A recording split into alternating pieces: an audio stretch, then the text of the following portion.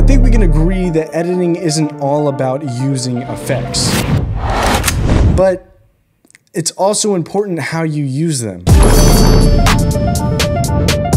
So I made this for a recent edit I've done, and it was about guns and shooting, and there needed to be a transitioning section with a bunch of cool effects just to kind of transition into another part of the video. And so that's exactly what I made.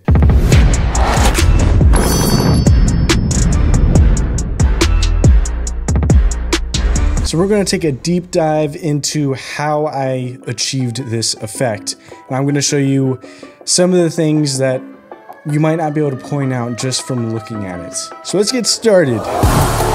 So the shot before the actual bullet shows up is just a quick speed ramp of other bullets and how I achieved this to come up and snap back like that into the other shot. I used one mRoto AI to cut out the bullet from the original clip but I used add motion and on the landing effect, I used snag, which gives it that snap back type of effect. Then I added a drop shadow behind to make it more prominent from the clip itself. And whenever it snaps back, it goes into the original clip that it was rotoscoped out from. And then over this entire clip to achieve this transition, one, I added motion blur, and then I had an adjustment layer over the clip that pretty much just zooms in to make it go sideways. Now, you might be thinking these are the adjustment layers that are zooming in, but they're actually not. It's actually this one underneath here. And the reason why I had to add these two, because there was an issue that while it was turning, you'd get these black bars from the edges that would show. And so I wanted to hide that. So I added two more adjustment layers, one to zoom in even more. So it covers that up. And then another one to zoom back out to how, how, it's supposed to look. And then I added this effect called dynamic, which is kind of like a focus handheld effect, which you can kind of see it's very subtle here, but it zooms in and the edges become blurred out. And now the question and the main effect of the whole thing is the bullet popping out, shining while it rotates, and then moving across into the other scene.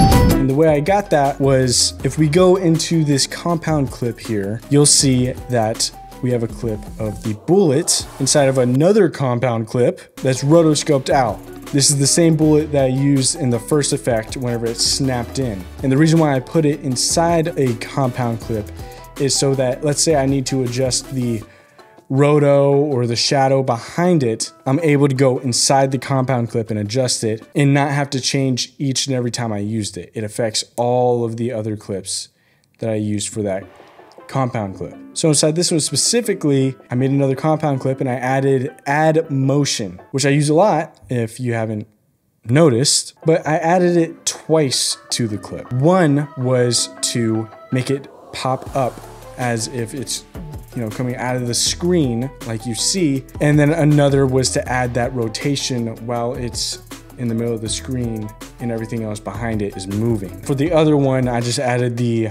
color grade over it. And at the end here, I added another add motion, which made it do the effect of moving across the screen. Then over the entire compound clip with like 20 other compound clips aside of it, I finally added the outline effect that you see here shining over. And so my main focus here was to have your focus on the bullet while the background moves across and then the bullet goes away, moving into the next scene. But I didn't want it to be some bland swipe over or, you know, nothing added to it to make it unique of a transition. So I added a light strobe behind it. But with that, that also got me thinking I can add sound effects and do a lot of things with the sound design here. And so I added the sound effect of guns being shot like it's flashing and it suits it well because it goes with the speed of it. And of course I had adjusted a little bit. And so it sounds something like this.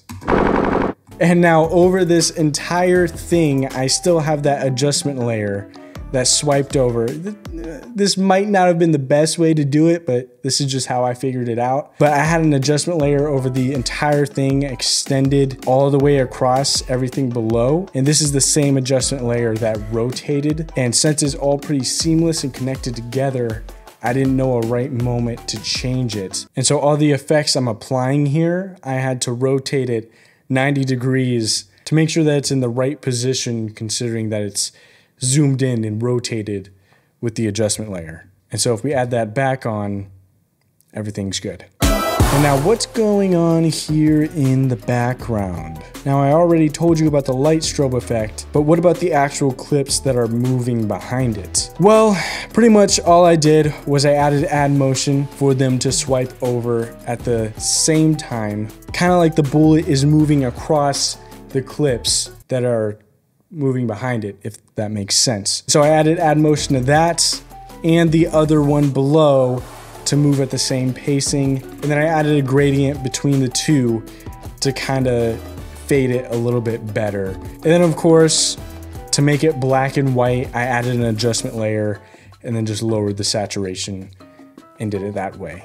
And I applied motion blur everywhere that there was movement to kind of just smooth out the whole effect. And of course, you can't forget about the sound design. That's very crucial, especially in effects or stuff that you really want to make stand out. In general, everything to do with sound design in your edit is very important, so I would highly recommend paying attention to those things. I was thinking of a sound effect that was kind of like, like a bling shine, but I didn't want it to be a, a cringy, you know, ding, kind of like this. So I was thinking, you know, what could work? And I came across a sharp katana sound effect. And so this is what it sounds like with the clip. And it works pretty well whenever it's applied to everything else. Oh, and if you're wondering how I achieved this zoom out from the sniper effect, I guess that's gonna have to be a breakdown for another time. No, I'm just kidding. I'm gonna show you right now. So as you would affect, what? As you would affect. So as you would expect, this is a fisheye lens distortion. That's what's giving it that look when it when it goes out like that. And so I just applied that effect to an adjustment layer over everything. And once again, this is still inside the other adjustment layer. So it's all sideways. And then I added a shape mask to the sniper here and then added some keyframes on the fill opacity. And then after adding another adjustment layer over this clip, that makes it kind of zoom back whenever it's, you know, going back, like it's following the, the, the sniper. So it's got that backward motion. And without further ado, after everything's pieced together and done, this is what you get.